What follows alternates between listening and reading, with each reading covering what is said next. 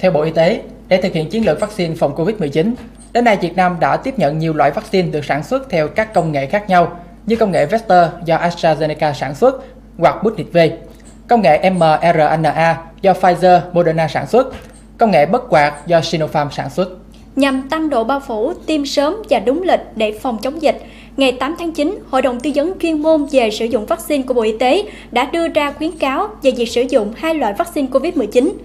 Theo đó, trong trường hợp bất khả kháng, khi nguồn cung vaccine COVID-19 mũi 1 đã tiêm không đủ để tiêm mũi 2, thì có thể sử dụng vaccine khác để tiêm mũi 2 như sau. Nếu tiêm mũi 1 vaccine do AstraZeneca sản xuất thì có thể tiêm mũi 2 bằng vaccine do Pfizer hoặc Moderna sản xuất. Nếu tiêm mũi 1 bằng vaccine do Moderna sản xuất thì có thể tiêm mũi 2 bằng vaccine do Pfizer sản xuất và ngược lại.